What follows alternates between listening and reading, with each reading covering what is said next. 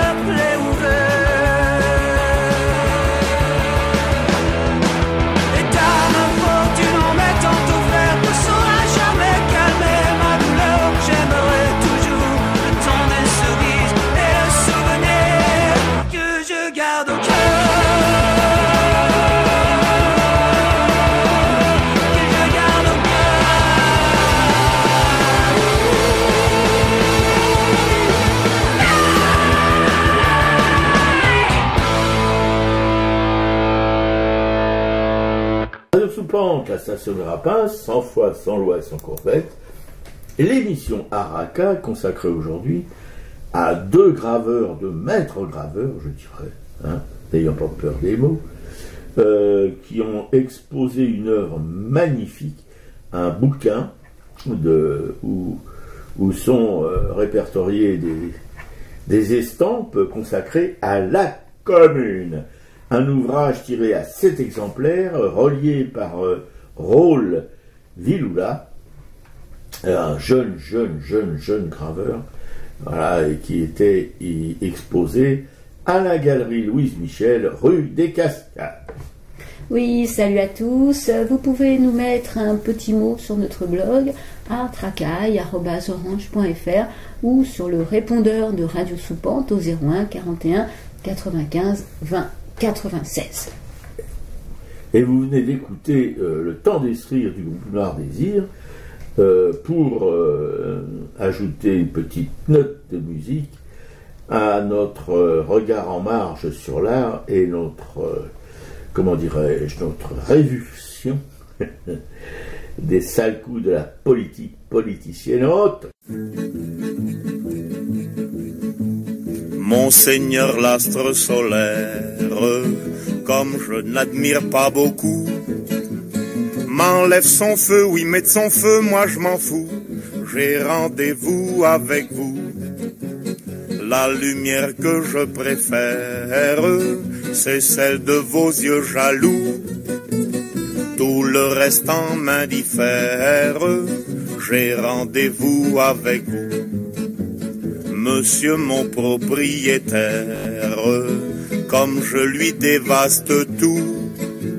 Chasse de son toit, oui, mais de son toit, moi je m'en fous. J'ai rendez-vous avec vous. La demeure que je préfère, c'est votre robe à froufrou. Tout le reste en m'indiffère, j'ai rendez-vous avec vous. Madame ma gargotière, comme je lui dois trop de sous, Chasse de sa table, oui, mais de sa table, moi je m'en fous. J'ai rendez-vous avec vous. Le menu que je préfère, c'est la chair de votre cou. Tout le reste en m'indiffère, j'ai rendez-vous avec vous. Sa majesté financière, comme je ne fais rien à son goût, garde son or, hors de son or, moi je m'en fous, j'ai rendez-vous avec vous. La fortune que je préfère, c'est votre cœur d'amadou. Tout le reste en m'indiffère, j'ai rendez-vous avec vous. J'ai rendez-vous avec vous, Georges Brassens. Oui. Et mon presse-papier, introduit justement par cette chanson, consacre euh, l'affaire, si on peut dire, de l'archevêque de Paris, qui n'est pas monseigneur Félix Dupanloup, mais monseigneur au petit. Voilà.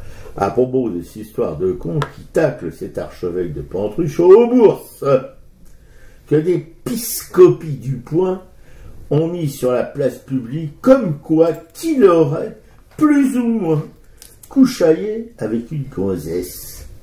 Mais bordel à de Sainte Vierge en cloque. Il me semblait que nous vivions sans nous en rendre compte au XXIe siècle, en France, une sorte de démocratie à la mode de chez nous, toujours un peu en retard, question cul. Que malgré notre réputation flatteuse et ta sœur, concernant nos mœurs dissolues, on fait semblant de s'émouvoir qu'un archevêque qui, qui puisse jouer à touche pipi avec une paroissienne sans que cette dernière monte au créneau et crie au viol. T'es archevêque, ouais, et puis après, vous savez, camarades, camarades, si vous gavez cette émission avec obstination et un courage un peu suicidaire, que dans nos têtes, et même en des endroits que la pudeur retient de nommer, les ans soutanés nous en bouffons à toutes les sauces, et chaque jour castarotte fait, nous poursuivons, nous aussi obstinément, de notre, de notre mauvaise foi innée, tous les corbeaux vomis par le Vatican. Voyez-vous, nous ne supportons pas, par contre, les balances. Ça, vous deviez le savoir. Vous devriez le savoir. Et les plumitifs qui ont balancé Michel au petit au chien, nous les conchions. Grave. Alors ainsi, puisque on porte une robe et la pourpre cardinalesque, on doit avoir le cœur sec. Je suggère à tous ces moralistes à deux balles de pousser le bouchon un peu plus loin, tant qu'à faire, qu'on lui coupe les couilles, et tout sera dit. L'histoire de l'Église catholique romaine n'est pas, depuis belle burette, un modèle de vertu, si on se remémore les sauteries des Borgia. Plus récemment, celle de Monseigneur Dupendou. Et puis toutes ces monstruosités pédophiles. Mais Michel au petit, non, n'étant rien de ces prédateurs sexuels qui font l'animation des veillées familiales. Que non. Il semble que, d'après ce que j'ai compris de cette salade, que le susnommé évêque éprouvait un tendre sentiment à l'endroit et peut-être à l'envers de cette chante dame. Oh, que c'est beau de braver ainsi la pudibonderie des effarouchés de la de la position du missionnaire allongé. Un archevêque, pensait Madame Trousnich, et ma main sur ta gueule baveuse, ça et mon goliot dans le cul des donneuses qui balancent sur Michou, du coup, le Monsignori a refilé sa démission au pape et le François, forcé de l'accepter, t'imagines qu'il la refuse? Scandale planétaire. Le pape complice de la fornication de son archevêque. Pas si con, brésilien. Abemus papam. Que dalle Que grâce soit rendue au péché de chair Si tous les curés du monde pouvaient fauter de cette belle manière, me semble qu'il tournerait mieux le monde. Ouais, c'est quand même euh, effectivement euh, détourner, euh, détourner le, fond du problème que de s'attaquer à ce, monseigneur là. Alors que récemment, il y a quand même une, commission d'enquête qui a quand même prouvé que il y avait je sais plus combien de prêtres pédophiles au sein de l'Église et qu'il va y avoir une indemnisation euh, pour les victimes qui à mon avis seront de plus en plus nombreuses et le nombre de dénonciations de plus en plus important. Mais que là il n'y a pas euh, il y a indemnisation euh, financière mais il n'y a pas n'y a pas du tout expulsion des, ordres enfin de l'église. Et là là on est quand même dans quelque chose d'aberrant quoi. Là effectivement il s'agit d'une relation entre adultes qui a été à maintes fois, enfin le, mariage des prêtres est quand même un sujet récurrent dans, euh, dans, les questionnements. C'est-à-dire qu'il y a, beaucoup de documentaires sur, euh, sur comment, euh, comment gérer ça. Donc, on- moi, j'avais vu un doc il y a déjà quelques années où des prêtres témoignaient de, oui, leur envie d'avoir une vie amoureuse, où certains démissionnent. Voilà, c'est quand même c'est, un sujet important. Et il faut rappeler qu'au début de l'Église catholique et romaine, si vous voulez, les, évêques, euh, ouvertement, euh, avaient des compagnes c'était tout à fait admis. Je, je vais en parler des prêtres, enfin, tout ça. Il y a eu un espèce de concile à la con, comme à peu près tous les conciles, qui a révoqué toutes ces, ces choses un peu, un peu naturelles, voilà, pour imposer un célibat aux prêtres, mais tout le monde ricane. Comment voulez-vous euh, on, on leur met pas de ceinture de chasteté aux prêtres. C'est ça difficile à mon avis. Mais bon, voilà. Non, non, c'est complètement une aberration, c'est une crétinerie euh, euh, qu'on, qu'on- comme le rappelait ma camarade, euh, qu'on voue aux gémonies euh, tous ces, cette prêtrise pédophile, c'est tout à fait normal euh, qu'on, qu'on les, qu'on les, les conchit, qu'on les punisse, qu'on les bannisse, tout ce qu'on veut. Enfin, qu'on les empêche d'exercer surtout. Oui, bah oui. Mais oui, mais enfin, si, si ils n'avaient plus le droit d'exercer, il n'y a plus de prêtre dans l'église. Ah bah oui, non, mais on peut Voilà, pas. euh, je suis voilà. d'accord avec toi, mais c'est comme les collabos de la guerre, si tu veux, la dernière guerre, que ce soit en Allemagne, en France, dans tous les pays, on les a tous réhabilités, parce que sans eux, les pays ne pouvaient pas tourner. C'est-à-dire que l'administration allemande, après la guerre, c'était que des nazis, pratiquement, tu Ouais. vois, voilà. Mm. Et ben là, c'est, pour, pour, pour la prêtrise, c'est un peu le même Ouais. style, quoi, tu vois. Ouais. Mais euh, c'est vrai qu'en plus, on a quand même, par rapport à ces actes de pédophilie reconnus, on a aussi reconnu, et ce- ce- cette commission d'enquête a reconnu que c'était systémique. C'est donc c'est le, système, euh, le système clérical qui, euh, qui favorise aussi euh, ces actes-là, dans la mesure où on sait qu'il y a pas des, il y a impunition, il y a protection, même au-delà, même jusqu'à très loin sur euh, au Vatican après, quoi. Mais la pédophilie n'est pas forcément une conséquence du célibat, puisque euh, on voit bien dans, dans, dans, le, dans la vie civile, tous ces pères de famille, etc., honorables et tout, on a eu des exemples dernièrement avec euh, un fameux euh, qui était directeur de, enfin, qui était un, un, ponte à Polytechnique, etc. Enfin bref, je ne vais pas vous citer son nom parce qu'il faut une balance. Eh ben, on s'aperçoit que même dans les familles les plus distinguées, n'est-ce pas Eh ben, il se passe des choses aussi dégueulasses, distinguées et en plus, euh, comment dirais-je, avant-gardistes, voilà. Alors ils sont vraiment à l'avant-garde de l'avant-garde en sautant leur nièce, en sautant leur neveu, en sautant euh, leur petite fille ou leur petit-fils. Voilà. Ça se passe dans les familles euh, traditionnelles, normales. Qu'on dit normal, mais qu'est-ce qui est normal? C'est pas, pas réservé aux prêtres.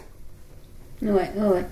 Et euh, non, mais c'est euh, voilà. Puis tu disais aussi que c'était un poste qui pouvait être convoité, donc euh, ça, ça facilite aussi les dénonciations pour euh, pour se pour être promu à ce poste-là aussi. Hein. Ouais, et puis merci le point pour balancer. hein. fait vendre. On sait Ouais, que c'est des histoires qu'il ah, faut vendre. sûr. Voilà, euh, ça fonctionne, ça fonctionne toujours, quoi. Euh, alors moi, mon presse-papier, je vais faire, euh, je vais parler de deux trois, deux trois choses. Alors déjà, samedi soir, euh, grâce à ma copine Lolo, nous sommes allés écouter la symphonie numéro 7 de Beethoven. Son fils est trompettiste et à cette occasion, nous sommes allés au théâtre Gérard Philippe à Champigny et pouvoir pour écouter ce- cette symphonie et en sortant on discutait un peu de l'histoire de cette symphonie et moi j'avais pas du tout suivi l'actualité sur sur Zemmour sur sa campagne et euh, ils me disent bah oui Zemmour a choisi le deuxième mouvement pour euh, justement euh, lancer lancer sa campagne c'est le fond sonore qui accompagne sa qui accompagne sa Et l'histoire en fait est intéressante parce qu'en fait cette, cette symphonie, donc Beethoven la compose, il a 41 ans, il commence déjà à être sourd, mais c'est surtout durant la période de campagne de Russie, des guerres napoléoniennes contre le Saint-Empire romain germanique.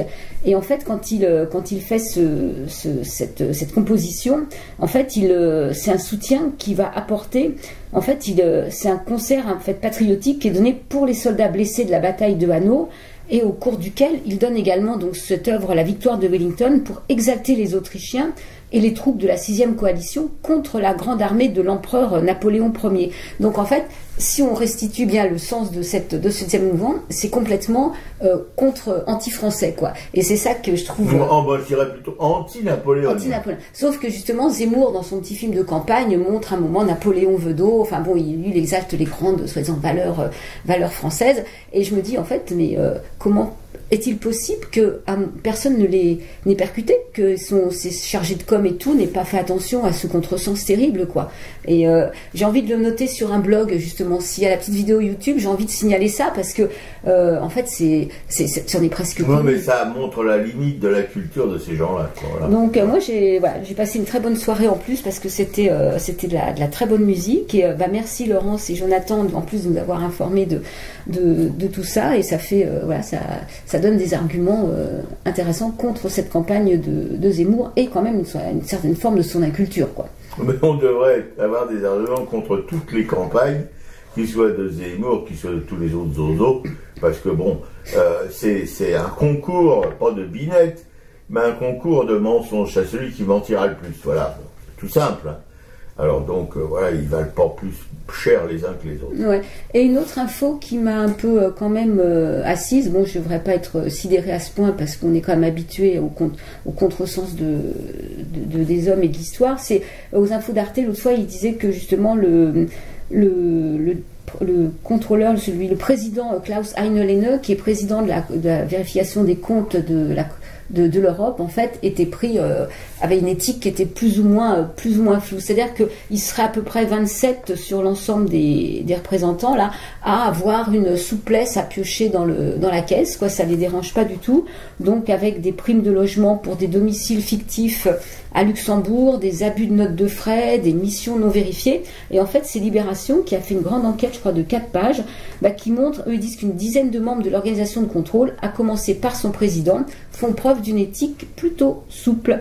Donc, qui contrôle le contrôleur? Bah, Dans l'Union, personne. Ce qui a permis donc des fraudes au budget communautaire au sein même de cette prestigieuse Cour des comptes européenne qui est au Luxembourg. Donc c'est quand même un con parce que cette commission est censée être la conscience financière de l'Union. Elle est censée veiller à la bonne utilisation de l'argent européen, de s'assurer de la fiabilité des comptes, de la légalité, de la régularité des recettes et des dépenses, et son rapport annuel fait d'ailleurs trembler les institutions communautaires. Et en dépit de multiples signaux d'alerte émanant notamment du Parlement européen, les États n'ont pas vu, ou plutôt voulu voir, qu'une partie des membres de la Cour qu'ils ont nommés, dont son président, serait dénuée de l'éthique minimale qu'on attend d'eux. Donc un bon tiers de ces 27 membres ne sont presque jamais présents dans le Grand-Duché, mais touchent néanmoins de grasses primes de logement, ici domiciliées, enfin voilà. Donc c'est de l'ordre, je ne sais plus, de je sais pas, 400 000 euros. Enfin voilà, euh, c'est des sommes quand même qui sont assez phénoménales. 400 000 euros globalement ou pas Je crois que c'est globalement. Ah ouais Mais, euh, et j'avais Dans le budget de l'Europe, c'est dérisoire. Oui, c'est dérisoire, sauf que à notre niveau, c'est inadmissible. C'est-à-dire que mmh. s'il y a des gens qui doivent prouver qu'ils doivent avoir une éthique dessus tout, c'est comme à Bercy. Enfin voilà, il faut une fois que ces gens-là sont pris la main dans, dans, le pot de confiture, il faut des, il faut vraiment des des mesures, euh, des mesures drastiques, enfin draconiennes quoi. Pour euh, il faut leur supprimer, euh, il faut leur supprimer leur poste, leurs indemnités, leurs droits à la retraite. Enfin moi je pense qu'il faut... leur a supprimé? Non, bien sûr bah, que non. Parce que là, ce monsieur, moi, quand je l'ai vu euh, aux infos, là, justement, il est là, naturellement. Ils savent nier en toute, euh, hmm. avec euh, toute leur, leur, leur sûreté. Ah non, c'est pas vrai, c'est pas vrai. Comme Cahuzac, non, je vous regarde les yeux dans les yeux et je vous dis que j'ai pas de compte à l'étranger, quoi. Hmm. Et voilà, eux savent très bien faire ça. Nous, si on est pris comme ça, au bout d'un moment, on va commencer à trembler Même un si on sait très bien faire, on avoir marrant. Oui, voilà. Mais eux ont cette, cette assurance qu'ils ont hmm. apprise, hein, parce que ça fait partie aussi de leur, de leur métier, de pouvoir dire blanc, dire noir, voilà, de, Avec de- voilà. Donc euh, c'est euh, voilà, c'est une nouvelle de plus. Bon, c'est pas complètement surprenant, mais en fait c'est toujours euh, un plus, un plus. Et j'avais vu, c'est pareil, il y avait déjà quelques années, il y avait aussi un souci, un souci comme ça. Bon, voilà, effectivement, c'est tentant quand on a le, quand on a les, cor- les cordons de la bourse à portée de main de piocher dedans, quoi. Mm. Et euh, et je voulais revenir juste sur une chose aussi, sur les déclarations de Darmanin et Dupont-Moretti qui, di- qui, disent que ce ne sont pas eux qui ont donné l'ordre de la serrer des tentes pour les, à Calais pour les, pour les migrants. Que, euh, voilà. Donc effectivement, c'est pas l'État directement qui ordonne de, de, de- de faire tout ça, ce seraient des sociétés, euh, Oui, des sociétés ça, ouais. privées, sauf que derrière, les sociétés privées, elles sont bien embauchées par, euh, par quelqu'un. Et eux, c'est pareil, ils sont là avec leur fierté, leur assurance à, à, nier, à nier quoi que ce Mais soit, voilà, à, à Tu jouer. les euh, prends la main dans le pot de confiote, la figure barbouillée de, euh, de confiote encore aussi et toujours. Et il Ah, c'est pas vrai, non? Qu'est-ce que c'est ces histoires? J'ai jamais goûté à la confiture. Ouais, parce qu'hier j'ai regardé le film de un film 2009. Je pensais qu'il était plus ancien que ça, justement de euh, de Lioré et euh, ce qui s'appelle Welcome avec Vincent Ladon justement où Vincent Ladon va euh, va va va côtoyer un jeune migrant. Bon à l'époque en 2009 c'est euh, ils viennent d'Irak. Et, euh, et on voit justement euh, tout, euh, tous ces contrôles déjà des, des migrants avec les, le fait d'être passible de 5 ans de prison si jamais on les héberge, si on leur donne à manger. Et on s'aperçoit que depuis 2009, ça n'a pas changé. Ça, Mais c'est un scandale, mais tellement énorme euh, de, de prétendre à des choses aussi ignobles dans des pays soi-disant civilisés, dans des soi-disant démocraties, de punir de prison des gens qui sont humains. Voilà, Voilà, de- voilà. simplement. Non, non, mais oui, c'est ça, de donner à manger, de d'aide, d'aide, de- que l'aide humanitaire soit euh, soit. Mais ça devrait faire la une de toute la presse, avec des grands titres en rouge. Mais là, c'est des entrefilets, il faut savoir, il faut tout lire, quoi, tout lire tout le journal pour tomber dessus, par miracle. Alors c'est vrai que j'étais au courant de tout ça parce qu'on a on a suivi tout ce qu'a fait Cédric Héroux Ouais. dans la vallée de la Roya et tout et c'est pas des choses euh, c'est pas des choses nouvelles Mhm. mais c'est vrai que bon de se retrouver face à une fiction avec toute l'émotion que ça peut procurer bah voilà Mais euh, moi, je, je dis que ces gens-là, comme, euh, comme ce héros, ce sont des héros. Voilà, c'est c'est les mêmes qui, qui, pendant la résistance, se faisaient mitrailler par les nazis. Voilà, qui se faisaient torturer par les nazis. C'est les mêmes. Et là, c'est les Français, c'est la police française, c'est l'État français qui les persécute, ces héros. Et euh, ce qu'on voit aussi dans ce film et que j'ignorais, c'est qu'effectivement, les, les, euh, migrants, en fait, si quand ils tentent de, traverser, que ce soit par les camions ou, euh, ou autres, en fait, quand ils sont rattrapés par la police, on leur, on leur, on leur écrit un numéro sur la main. Voilà, je- j'avais jamais entendu parler de cette pratique qui rappelle effectivement nos heures de gloire euh, françaises, quoi. qui rappelle, si vous voulez, le tatouage que, pratiquaient les nazis euh, sur le, bras des, euh, des, des gens de confession juive qu'on foutait dans les fours. Quoi. Comme quoi l'histoire, l'histoire se répète, mais d'une manière presque burlesque, quoi. Tragico-burlesque. On dit grand guignolesque. Voyez donc cet aristocrate, pâle comme eux, qui fait des épates. Il passe sa vie à nocer, à vingt ans c'est déjà cassé. Comme une femme, ça a des faiblesses, ça veut jouer à l'ancienne noblesse, incapable de gagner son pain. Voilà le type du vrai gandin. Il a les mains blanches, les mains maquillées. Il a les mains blanches par la honte souillée. Ça sent la paresse, c'est mou, c'est gnangnan. Voilà ce qu'on appelle des mains de feignant. Voyez donc ces hommes en soutane, soi-disant sur eux le bon Dieu plane. Ils prônent Moïse et Jésus-Christ, mais font le contraire de leurs écrits. Oui, Moïse était un apôtre, Jésus-Christ mourut pour les autres, tandis que vous, prêtres, pasteurs, rabbins, votre but, c'est l'or le butin. Ils ont les mains blanches, les mains maquillées. Ils ont les mains blanches, par l'or elles sont souillées. Ça sent le tartuffe, l'avare, le gripsou. Voilà ce qu'on appelle des mains de filou. Voyez donc ces hommes politiques, vrais paillasses à gueule tragique, qui pour aller au Parlement, au peuple font du boniment. Je vous promets les retraites ouvrières, je vous promets la fin de vos misères. Ils se votent d'abord et comment? Pour eux-mêmes 41 francs. Les mains blanches, les mains maquillées.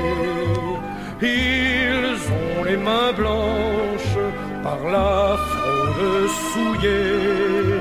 Ça sent le roublard, ça sent le malin. Voilà ce qu'on appelle un poil dans la main. Voyez donc cette foule tapageuse, quelquefois gaie, souvent malheureuse.